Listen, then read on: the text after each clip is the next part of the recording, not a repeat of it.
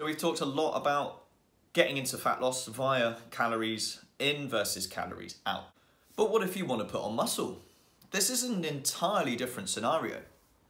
As I've mentioned in my calorie deficit videos and fat loss videos, I would not expect to get stronger and I would not expect to put on muscle if you're in a calorie deficit. You're swimming against the tide when you're doing that. So you need to get into a better scenario. Um, focus on one goal at a time. If you're looking to lose fat and put on muscle, you're focusing on too many goals. So what I normally suggest is, yeah, focus on your fat loss. You, you should be resistance training anyway, so you're gonna maintain what muscle you have. You're gonna have enough protein in. So focus on one goal at a time.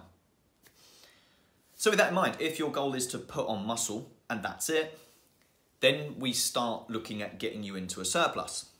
So it's the exact opposite of trying to go into fat loss. Now, you've got two options. You can go into quite an aggressive bulk or you can go into a fairly slow bulk. Depends on how you want to do it.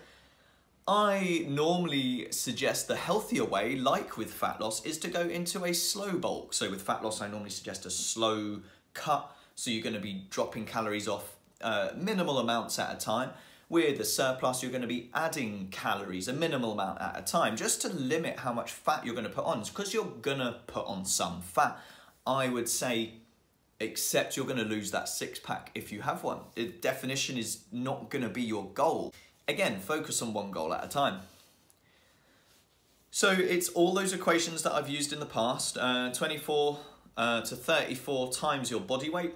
Uh, the closer up towards 34, the bit more aggressive your bulk is going to be. I think I actually misquoted that. I think it was up to 37, so do forgive me on that. Um, I'll double check those numbers, but up to 37 and a bit closer to 37, like I said, is going to be a bit more of your aggressive bulk. So I would suggest timesing your body weight by around 32 to 34 to find your kind of base level to where, where you work from for your calorie surplus.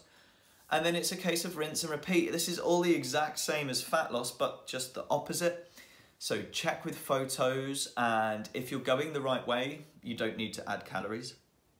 If you find you wanna, uh, it's perhaps plateaued or you're not quite at the right calorie amount, add 100 up to 200 calories, then track for another month and check in once again. If the progress is going the right way, leave it there. If it's not, add 100 to 200 calories, rinse and repeat. Now when it comes to your training, this is going to be a bit more specific. Um, make sure you've got your resistance training in and this is going to be a bit more of your focus now. So you could probably do higher intensity workouts. You're not in a deficit. You will be expecting to put on muscle, also get stronger. And that's pretty much it. It's not that complicated uh, to track your calories. Again, I would suggest MyFitnessPal.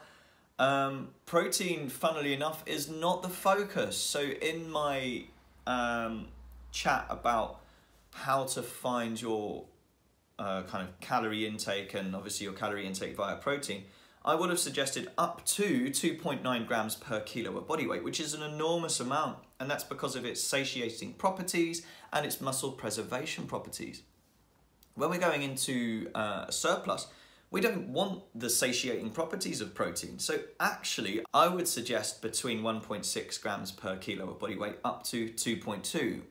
I wouldn't really suggest going much higher, again, because we don't want to be satiated. We want to be eating more than we're, what we're used to eating.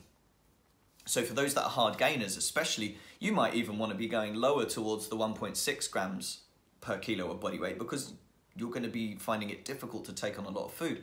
Those who are not such hard gainers, okay, you might be able to go closer to the 2.2 grams that I suggested. I hope all of that has made sense. Thanks for watching.